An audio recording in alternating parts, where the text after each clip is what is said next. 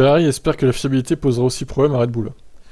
Ah bah elle a posé problème à Red Bull en début de saison les gars, hein. mais vous n'en avez pas en profité hein, de ces points euh, gagnés à cause des abandons des autres. Quelle erreur quoi. Nous avons vu que ça arrive sans, sans vouloir souhaiter de la malchance à Max, donc là c'est Job Clear qui parle, ni souhaiter de la gagner en vertu des abandons des autres. Mais la fiabilité jouera un rôle dans ce championnat, plus tard dans l'année aussi, pour tout le monde, donc il y aura des dés à lancer. Claire salue les performances de Leclerc depuis le début de saison. Impressionné par tout son travail, ce n'est pas seulement qu'il est très bon sur un tour, ses courses ont été bonnes cette année. Évidemment, l'erreur d'Imola était stupide, il le sait, mais ça ne se reproduira pas. Ça montre juste qu'il pousse et il veut rester au contact de Verstappen. Alors, il revient sur son erreur de Imola, mais bon, c'est pas ça qui lui a fait perdre le plus de points à Leclerc, hein, quand même. Hein. On en parle de vos stratégies de merde aussi à Ferrari, là, et des arrêts ratés? Ça, il l'évoque pas trop bizarrement.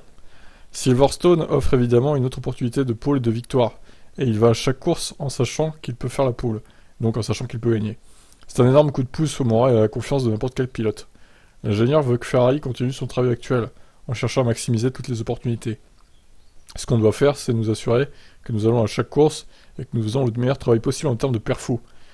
Nous nous assurons d'être en première ligne et de faire la pole, de maintenir la pression sur Max et de continuer à piloter comme Charles l'a fait. Comme on l'a vu, Charles pilote très bien depuis le début de saison. Blablabla, blablabla. On attend de voir ce que vous allez euh, enchaîner euh, sur les 4 prochaines courses avant la pause estivale Ferrari. Ces 4 courses seront cruciales pour la suite du championnat. Si vous faites encore baiser à chaque fois par Red Bull, c'est terminé. Il n'y aura plus aucun espoir de titre pour Charles Leclerc. Voilà, je vous laisse commenter. Ciao.